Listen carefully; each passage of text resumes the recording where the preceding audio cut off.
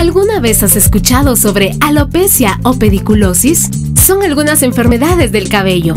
Si hablamos de la piel, acné, dermatitis, verrugas, lunares, cáncer de piel o enfermedades de las uñas. ¿Crees tener alguna de estas enfermedades? La doctora Moraima Maldonado se ha especializado en la Universidad de Guadalajara, México, para ayudarte con enfermedades de piel, cabello y uñas. Además, peeling facial, estrías, botox.